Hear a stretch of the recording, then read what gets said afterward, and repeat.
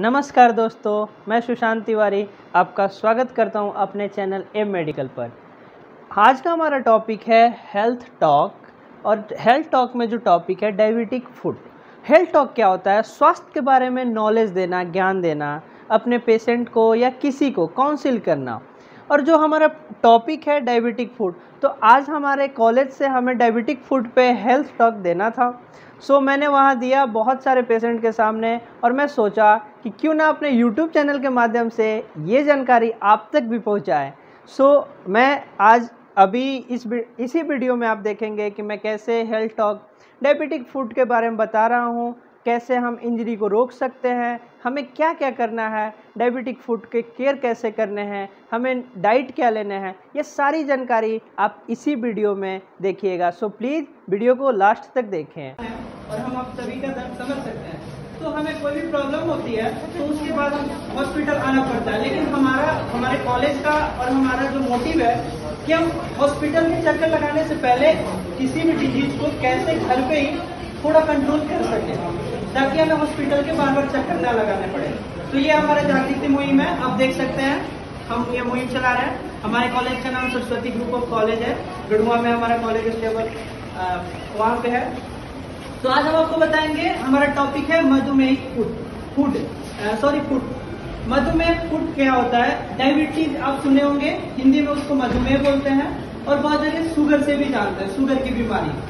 आप सभी को पता है शुगर की बीमारी क्या होती है? पता है? अच्छी बात तो शुगर की बीमारी जो है एक वर्ल्ड लेवल का इंटरनेशनल डायबिटिक फेडरेशन है। उन्होंने जब गणना किया, पूरे वर्ल्ड में उसके बहुत ब्रांचेस के अनुसार तो पता चला कि पूरे वर्ल्ड में चार सौ अट्ठासी मिलियन ये नंबर बहुत मायने रखता है, इतने डायबिटीज़ के पेशेंट हैं। अपने भारत में सतहत्तर मिलियन 27 मिलियन डायबिटीज़ पेशेंट हैं। तो डायबिटीज़ का एक रूप होता है डायबिटीज़ फ़ूड तो डायबिटीज़ डायबिटिक फ़ूड में कैसे चेंज होता है? वो हमें कैसे इतना हार्म पहुंचाता है, कैसे उससे दिक्कतें आती हैं? तो में हमारे पैर का जो सेंसेशन होता है मतलब हम टच करते हैं, हमें फील होता है, वो हम खो देते हैं अपने पैरों की तरफ़ से, वो हमें फील नहीं हो पाता है जल्दी। जिसके कारण हमारे पैर में ग्रो होता है खाव या कोई भी इंजरी जो कटा लगा, हमें वो जल्दी पता नहीं चलता।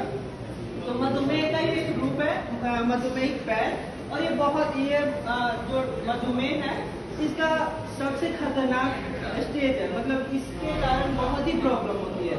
मधुमेह को आप कंट्रोल कर सकते हैं। दवाई से या आजकल आप प्रिकॉशन रख के, बचाव से, खाने पे ध्यान रख के रख सकते हैं। लेकिन ये होता है तो आपको प्रॉब्लम देता है। तो हम, आप ये देखिए, ये एक नॉर्मल इंसान का पैर है। इसको मधुमेह है, लेकिन ये जो आप सुंदर सा पैर देख रहे हैं, दिखाई दे रहा है आप लोगों को?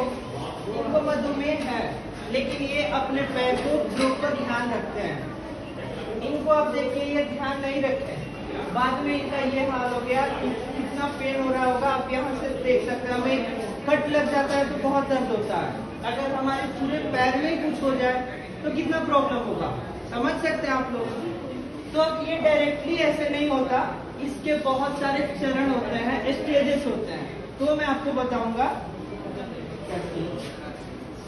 आप समझ गए मधुमेह पैर होता क्या है? जब मधुमेह को हम केयर नहीं कर पाते हैं हम अपने पैर को केयर नहीं करते तो वो तो फ़र्स्ट स्टेज आप इसका देखें ये होती है फ़र्स्ट स्टेज ये हमारी मधुमेह पैर है, ठीक है? मधुमेह से ग्रसित ये पैर है, जिसमें घाव हो चुका है। अब ये डायरेक्ट नहीं होता, ये देखिए इसका फ़र्स्ट स्टेज है पहले हमारे पैर ऐसे होते हैं। देख रहे हैं? दिखाई दे रहा है? इसमें छोटा सा आपको घाव दिखेगा। दिख रहा है? अब इसी घाव को हम अच्छे से केयर नहीं कर पाते हैं। हमें पता ही नहीं चलता कि हमें, हमारे नीचे घाव हुआ है या क्या। तो जब ये ग्रो करने लगता है, हमारे पैर में ये फैलने लगता है। क्योंकि हमें तो पता नहीं चल रहा। हम देखते नहीं हम ध्यान नहीं देते अपने पैर पे। तो ये फ़र्स्ट स्टेज है, मधुमेह का। अगर यहाँ आप डॉक्टर से मिलते हैं तो आप इसे केयर कर सकते हैं, आप इससे बच सकते हैं पूरे पैर में फैलने से। उसके बाद आता है सेकेंड सेकेंड चरण, द्वितीय चरण। अगर हिंदी में बोले तो द्वितीय चरण। आप देखिए, इसमें थोड़ा आपको ज़्यादा दिखेगा। वो खाव थोड़ा फैला हुआ दिखेगा। दिख रहा है? दिख रहा है? वही खाव है जो पहले हम देखे थे। उसके बाद आता है तृतीय चरण। तृतीय चरण दिख रहा है आप लोगों को, इसमें घाव ज़्यादा ही फैल जाता है। और अब हमें कहीं जाके ये होता है कि हाँ हमारे पैर में कुछ ग्रो कर रहा है उससे दर्द थोड़ा बहुत समझ रहे हैं। मेडिकल में इसे एम्प्यूटेशन कहते हैं। हिंदी में इसे बोलेंगे कि उस अंग को काट के हटा देना। देखें, अब ये तो हो गया हमारे पैरों पे इसका प्रभाव। लेकिन हम इससे बच सकते हैं। और वो बचने का तरीका क्या है? वो आप इसमें आगे देख सकते हैं। पहले हमें क्या करना है? क्या करना है सर? पहले हमें हाँ? डॉक्टर से अवश्य मिले डॉक्टर से अवश्य मिलना है बहुत अच्छे सर। डॉक्टर से मिलना है हमें डायबिटीज़ है हमें कुछ भी खुद से नहीं करना क्योंकि वो बढ़ सकता है। ठीक है? डॉक्टर से मिलना है उसके बाद ये देखिए। डॉक्टर से मिलने के बाद अगर आप स्मोक करते हैं सिगरेट वगैरह कोई भी नशा करते हैं तो उसे आपको छोड़ना होगा।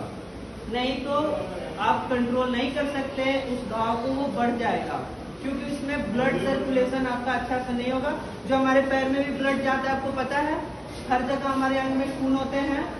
तो जब हम स्मोक करेंगे तो हमारे उस पैर में प्रॉपर ब्लड सर्कुलेशन नहीं होगा। जिसके कारण हमारे घाव ठीक नहीं हो सकते हैं ठीक सेकेंड क्या करना है हमें? इससे बचने के लिए गुनगुने पानी से, ज़्यादा गर्म नहीं, ज़्यादा ठंडा नहीं, गुनगुने पानी से अपने पैर को धोना है। गुनगुने पानी समझ रहे हैं?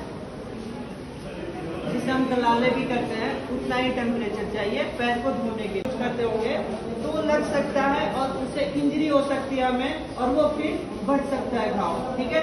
तो हमें प्रॉपर देखिए, ऐसे नेल कटर लेना है और मैं ये हाथ में बता रहा हूँ, लेकिन आपको पैर पे अप्लाई करना देखिए, बीच से ऐसे, बीच से काटना है।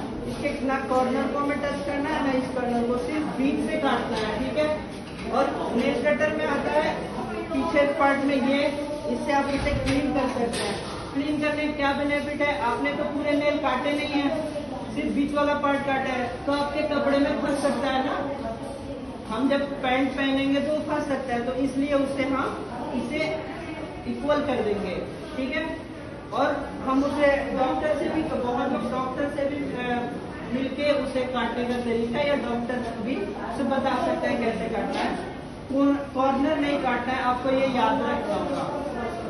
उसके बाद क्या करना है, हमें अगर लंबे समय तक बैठना है और हम डायबिटीज़ पेशेंट हैं, पहले गेहूँ, उससे रिलेटेड उससे संबंधित जितने भी खाने जैसे रोटी, दलिया, और भी जितने आप लोग आइटम्स बना सकते हैं गेहूँ से, वो आप खा सकते हैं। चावल इसमें हम कम खाते हैं आलू के पदार्थ जो होते हैं, वो कम खाते हैं। दूध पीना है फ्रूट खाना है। ये सेव आप देख सकते हैं। सेव, संतरे। ये सेव नहीं अब बाहर से खरीद के खाना है। ऐस मतलब फल खाना है, हरी सब्जियों को खाना है और मेवा आप यहाँ देखिए। उसे इंग्लिश में बोलते हैं ड्राई फ्रूट, जो काजू, किशमिश, बादाम, इससे भी आप थोड़े डोज में रोज सुबह खा सकते हैं। ये खाना अहम भूमिका रखता है कोई भी प्रॉब्लम्स को ठीक करने में और डायबिटीज़ डायबिटीज़ के जो पेशेंट है, उनको खाना पे विशेष करके ध्यान देना होता है, ठीक? ये समझ गए आप लोग?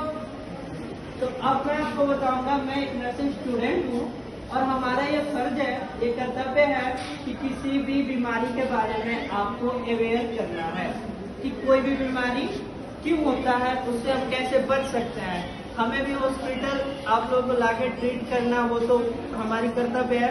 लेकिन हम समझ सकते हैं कि आप उससे पहले कितना दिक्कत होता होगा। तो आप लोग इसको अप्लाई कीजिए। आप सभी से रिक्वेस्ट है, जिसको भी डायबिटीज़ है, घर पे किसी तो किसी को होगा या आप में से किसी को होगा तो आज मैं जो समझाया हूँ, उम्मीद करता हूँ कि आप इसे पे अप्लाई कीजिएगा। ठीक है?